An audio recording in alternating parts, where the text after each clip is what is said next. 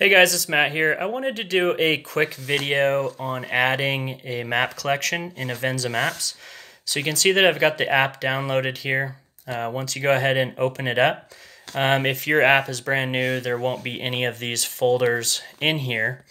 Um, but all you'll do is down in the lower right hand corner, uh, you'll press this orange button and you'll want to add a collection. That'll allow you to move seamlessly from map to map um, rather than having to go back out and open up another map when you're riding.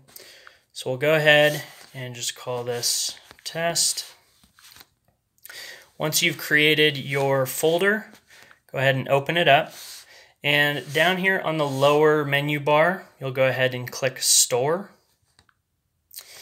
And all you need to do is type in uh, SXS in the search bar and all of these maps will show up here.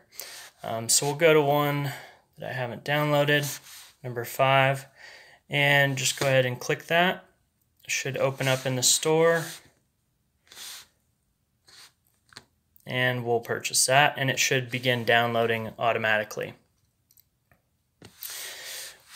Once those are downloaded, I'll go back out into another folder here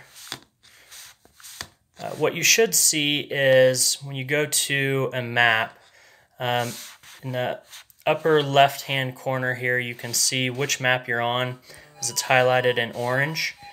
And then if you move to the right or left, or up or down, it should seamlessly go over to the other map. Now, something that's helpful when you're out riding is you can go down and press the three little dots down in the lower right hand corner and you'll want to hit record GPS tracks. And make sure you start it by pressing the green button.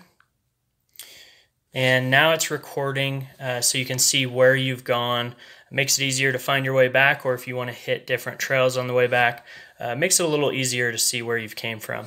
Now with this screen where it takes up half of your, your screen space here, um, the easiest way to get it all the way down back at the bottom when it is recording is to go over, click on GPS, and then click the little arrow that's right above tracking, and that should minimize it down to the bottom so you've got your entire screen space here.